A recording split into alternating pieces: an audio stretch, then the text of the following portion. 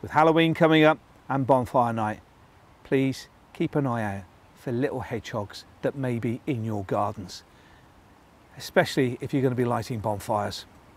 Always check inside. They see big piles of leaves and, and sticks and think they're little homes and they, they go inside there to think that's going to be nice and cosy for them to hibernate during the winter.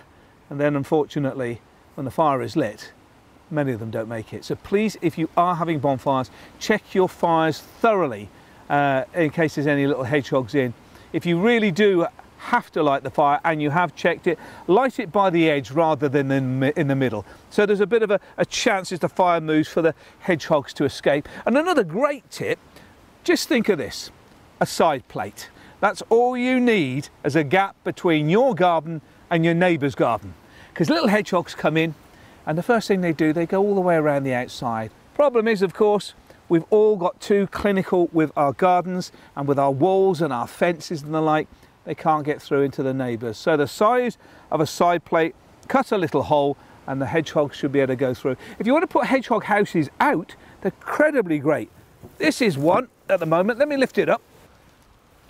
Take a look. First of all, uh, you can make them out of old uh, out of old wine boxes and the like. but this one's been specifically designed. You can get this on the Hedgehog Preservation uh, website, British Hedgehog Preservation Society website. But the first thing to do, I'll show you inside. Just take a look at that. Hold on, hold on. There's one still in here. Oh, here we go. Hey, come back here. Oh, you little cutie. Aren't they lovely hedgehogs? Now, hedgehogs have been on this planet for 15 million years. They're one of our longest living mammals. Not this one, this is one of the toys for the kids. Um, uh, and they have little baby hedgehogs. They're called uh, hoglets. And uh, if a group of hedgehogs are around, they call them a prickle. But this hedgehog house, as you can see, it's got a little bit of a gap there. That really to stop the foxes or the cats putting their hands in to get the young. And there's little breathing holes. So if you get yourself a hedgehog house and situate it underneath a hedge tucked away so it's not in the prevailing wind, um, you stand a pretty good chance of getting little hedgehogs in the garden. Please give this video a thumbs up and subscribe to my channel for more great content like this.